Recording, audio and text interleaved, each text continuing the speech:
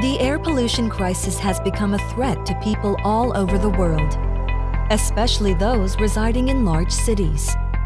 The World Health Organization, WHO, revealed that 30% of buildings worldwide have suffered from indoor air pollution, which could be up to 100 times greater than outdoor air. This potentially occurs from outdoor air leaking into the room.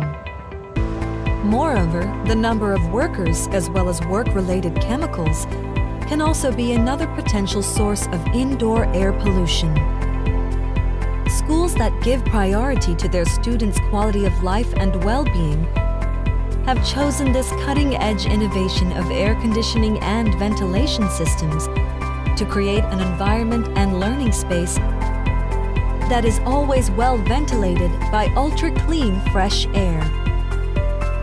By introducing a higher intake of fresh air into the room than the exhaust air being released, polluted outdoor air has no chance of getting inside.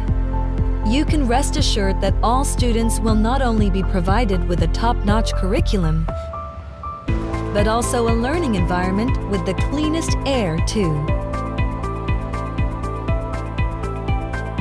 Indoor Air Quality Solution by Daikin.